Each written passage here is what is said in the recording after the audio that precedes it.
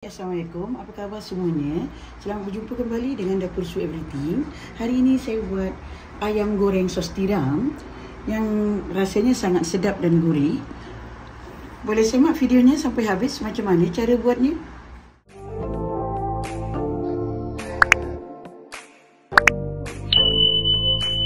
Okey, ayam ni satu ekor sudah dibersihkan dan dipotong. Sekarang masukkan bumbu marinasi ya. Ini dia satu marinasi. Saya letakkan dan ratakan.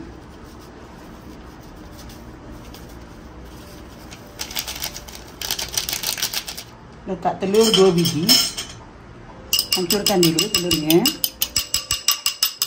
Kalau setengah ekor letak satu biji saja. Sebab ini satu ekor, saya letak dua biji telur. Ya. Ratakan, masukkan. Okey, letak tepung maizena 5 sudu makan ya. Ha, tepung jagung ya. Tepung jagung ataupun tepung maizena 5 sudu makan. Sekarang kacau dulu dan ratakan sampai dia tercampur semua dengan tepung jagungnya.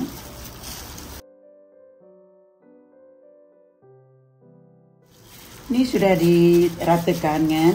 Rempah dia sudah dicampur macam ni. Sekarang letak bawang putih Tiga ulas yang sudah dihancurkan.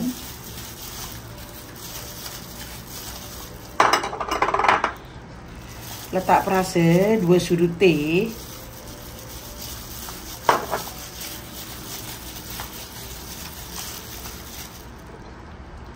Dan letak serbuk cili. Serbuk cili satu sudut teh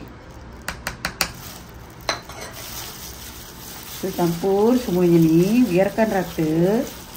Dan nanti kena rehatkan setengah jam. Ya. Okey, yang ni sudah diratakan macam ni dan ketepikannya. Tunggu setengah jam, okey. Sekarang saya nak buat sosnya. Sos ni ada sos tiram satu sudu, satu sudu makan, tapi ini cair sikit ya sebab saya dah kasih air. Kicap manis satu sudu makan. Kicap lemak manis, lemak masin sorry, lemak ma lemak masin satu sudu makan. Nak guna kicap masin saja pun tak apa, boleh. Letak bawang putih. Kalau nak letak bawang putih biasa dihaluskan boleh tiga ulas. Yang ni saya letak bawang putih goreng yang telah digoreng kan, dihancurkan. Satu sudut teh. Lada putih setengah sudut teh. Perasa satu sudut teh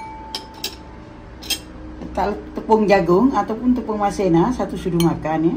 Kacaukan.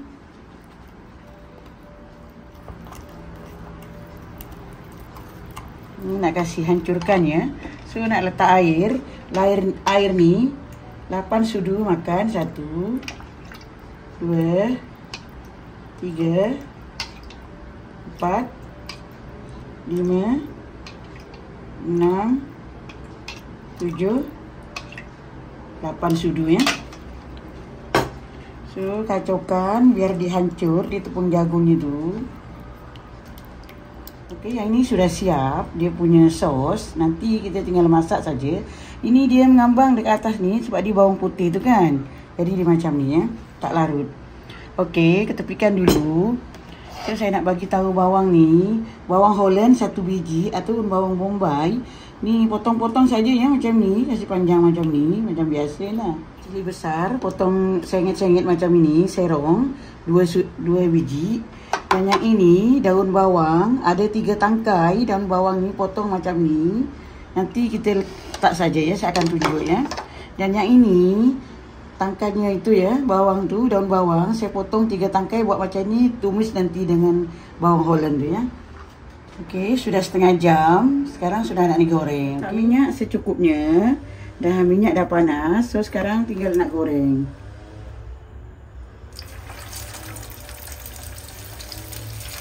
Masak satu-satu macam ni. Minyak tak payah tak perlu banyak sangatnya. Sebab nanti dia akan dipusing balik. Okey, ini pusing. Di sebelahnya macam ni patut hanguskan pusingkan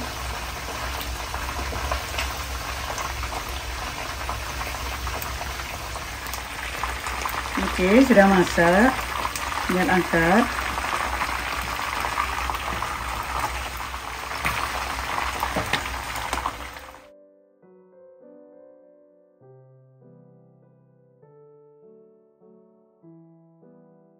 Letak minyak sikit, agak-agak tiga sudu makan. So, letak bawang ni, nak tumis. Letak bawang bombay sekali, tu tumiskan. Biar dia layu sikit. Ini bawang sudah layu sikit. Masukkan cili yang tadi yang dipotong. Dahulukan sekali ni, baru letak sosnya. Okey, sekarang letak sos sosnya. Sekarang letak sosnya. Biarkan dia akan jadi jernih nanti. Selepas jernih baru masukkan ayam. Dan rasa dulu. Kalau tak cukup rasanya boleh tambah ya. Okey, masukkan ayamnya. Ini sudah siap. Tutup gasnya ya. Dah cukup. Okey, gaulkan kasih ratakan.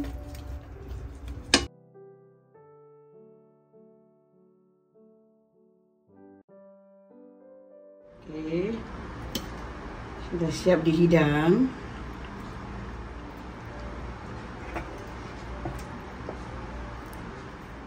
Daun bawang tadi buat taburannya di atasnya.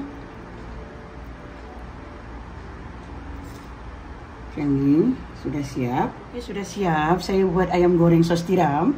Boleh cuba kat rumah dan jangan lupa subscribe, komen, share and like. Jumpa next video you guys. Assalamualaikum. Bye.